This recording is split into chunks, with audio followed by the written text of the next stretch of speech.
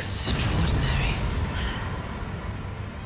The mark of a true lord.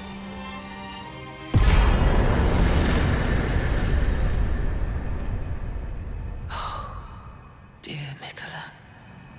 Oh, dearest Mikola.